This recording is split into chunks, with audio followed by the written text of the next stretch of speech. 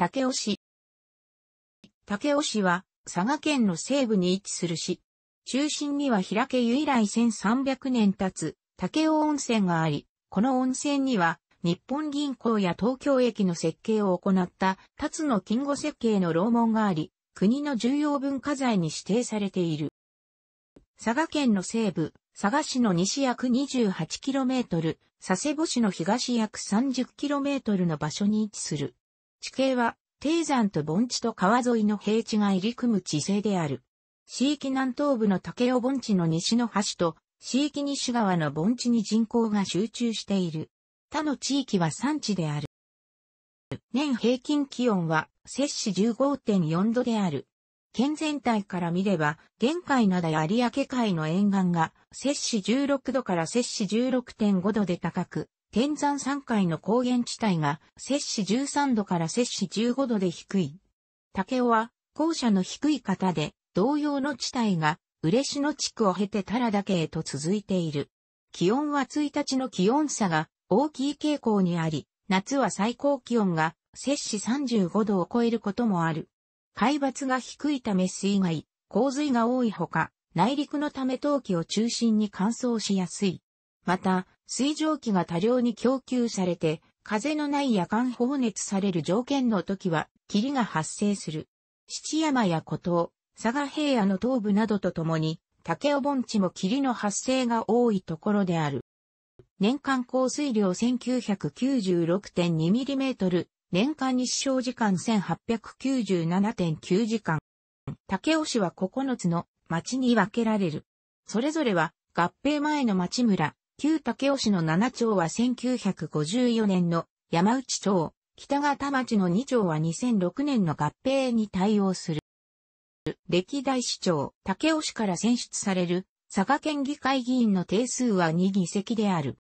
出先機関、出先機関、地域の約23%が田畑で、市内全域で農業が行われている。主な農産物は、米で、麦、大豆の栽培も盛んである。山内町は、茶やチンゲン菜、佐賀牛などの生産が多い。しかし、年々農業所得が低下しており、県内の市の中では、最も低くなっており、農業後継者の高齢化と重なり工作放棄地の増加や農業離れが深刻な問題となった。2007年に市がレモングラス栽培を呼びかけ、当時レモングラス化を置いて推進した。製造業と建設業が中心で、いずれも経営環境は厳しい。当時期の生産が盛んで旧竹尾市内を中心に、竹尾小唐津焼の窯元が多く立地している。山内町は有田町に隣接しているため有田焼伊万里焼の窯元が多く立地しており、陶磁器の生産が盛んである。主な工業集積地として、竹尾工業団地、若木町、堀切工業団地、山内町がある。2011年に竹尾北方インター工業団地、北方町が新たに造成されて分譲が開始された。2002年に市内で創業の釣り具メーカーのデュエル、1997年に、洋釣りが、社名変更が、海外への生産拠点以降で、地元従業員100人を解雇して、竹尾工場を閉鎖した。また、1990年に分譲を開始した竹尾工業団地も企業の撤退、工場の閉鎖などでなかなか埋まらずにいたが、2012年に22年を経て、ようやく全区画が完売した。商業及び竹尾温泉等による観光業が中心である。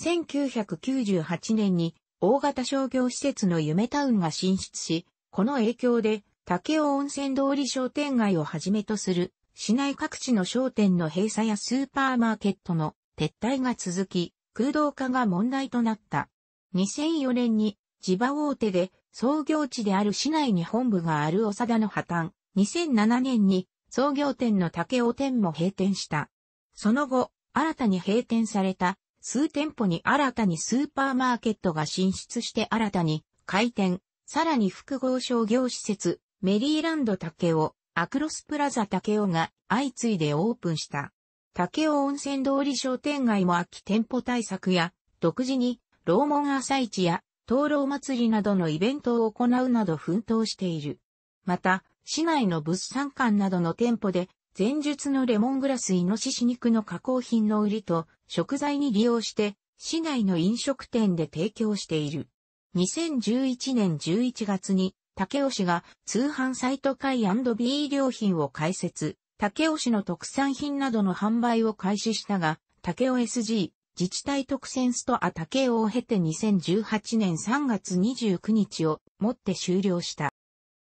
竹尾市の観光客数は1975年から増減があるものの現在まで増加傾向にある。竹尾市の観光客数、推タを見ると、1987年の竹尾北型インターチェンジが供用開始などによる交通利便性の向上により1990年に観光客が急増し、1999年に佐賀県立宇宙科学館がオープンしたことによって2000年の観光客数が大きく増加していると考えられる。しかし、最近の動向としては減少傾向にある。日帰り観光客数は年々増加する一方で、宿泊客数は減少している。その傾向を示して、2004年に竹尾温泉楼門の目前に立ち、明治時代創業の歴史があったホテル竹尾館、2007年に北が倉山町にあり、竹尾市街を一望できる竹尾保養センターを市が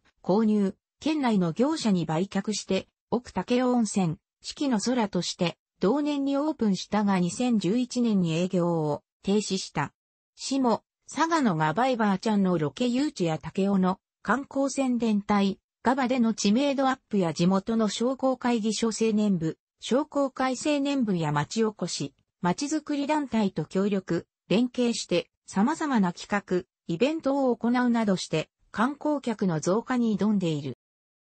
ケーブルテレビ経由で福岡県の放送局が視聴できる。竹尾市は地理的に受信環境の悪い地域なのでケーブルテレビの加入率が93%と非常に高い。市内で視聴できるテレビラジオは以下の通り。